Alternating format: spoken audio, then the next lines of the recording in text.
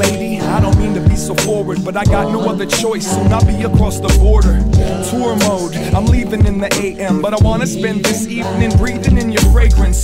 Too long since I've seen my better half. Sometimes you gotta let go, close your eyes and let it crash. Road to life is the only one I have to give. Lonely isn't a strong enough adjective to describe all the nights that I've tried to grip tight. I lack the necessary tools to help me get right. So take your place as the temporary savior while I'm looking at your face like I'll be tested on it later.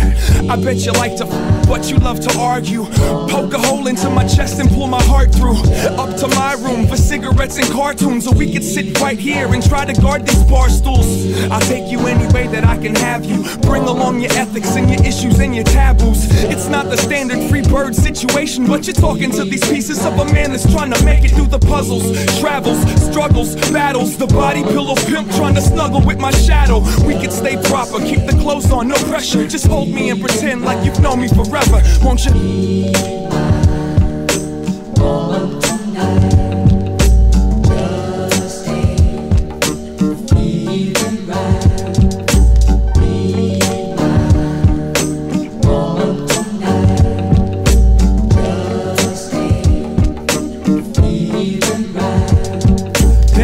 Had to leave right after the show?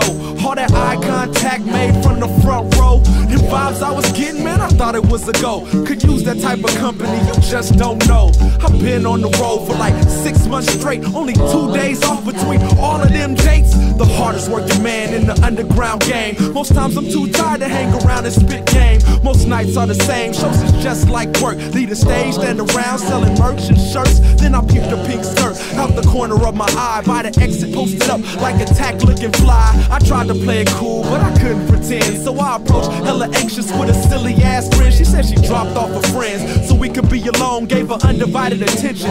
Turned off her phone, took me out for pancakes, paid for the dinner. Then took me to my room, let me watch SportsCenter.